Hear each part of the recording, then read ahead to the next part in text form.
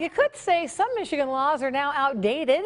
They're about to be in the history books. They're obsolete. The state Senate has passed actually a package of those bills, and it involves 80 laws, and now it just needs to go to the governor's desk for his signature. Our Jamie Edmonds breaks it all down for you. Are you having a bad day? Like a really, really bad day? Well, if you want to swear, I'd say let it rip.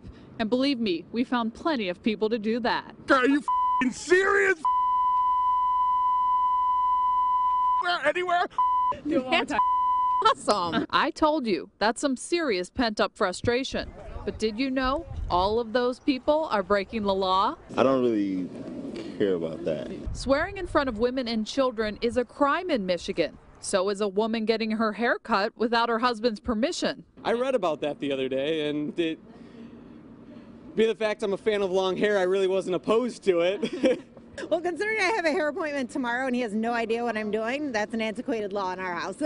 Those are just two of more than 3,000 crimes on the books in the state, most of them hundreds of years old. Wednesday, the Senate voted to appeal 80 such laws like trespassing on a cranberry, huckleberry, or blackberry marsh, or prohibiting the use of words in print advertising relating to sexual diseases, including lost manhood, or prohibiting certain endurance contests such as walkathons. Michiganders say it's about mm, time.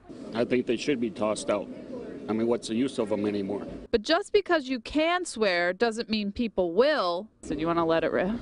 Uh, I usually do let it rip. Well, go ahead. Feel free. Oh, I don't want to. There's, It's a safe space. people around. Do you ever swear in public? Uh, not really. Oh, no. No. Your mom taught you well? Uh, yes, I guess so. But then again, Okay, now I got to get back to work. That's what I got to get. in Detroit, Jamie Edmonds, Local 4.